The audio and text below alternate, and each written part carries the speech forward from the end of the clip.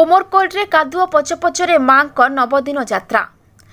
ନବରଙ୍ଗପୁର ଜିଲ୍ଲାର ଓମରକୋଟ ସହରରେ ଆସନ୍ତା ତାରିଖ ସତେଇଶ ତିନି ଦୁଇ ହଜାର ତେଇଶରୁ ଜଗତ ଜନନୀ ମା ଠାକୁରାଣୀଙ୍କ ନଅ ଦିନ ବ୍ୟାପୀ କଳସ ଯାତ୍ରା ଆରମ୍ଭ ହେବାକୁ ଯାଉଛି।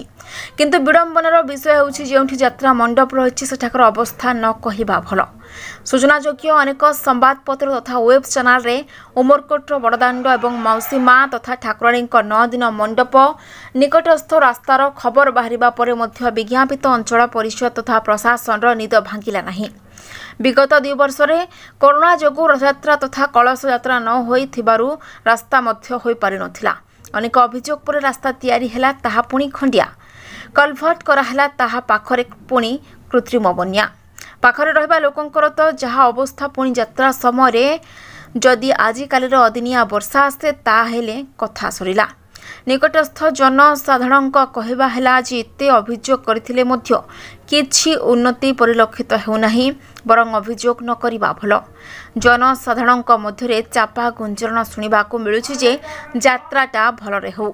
ନବରଙ୍ଗପୁର ଜିଲ୍ଲାରୁ ଘସିରାମ ହରିଜନଙ୍କ ରିପୋର୍ଟ ଏ କେ ନ୍ୟୁଜ୍।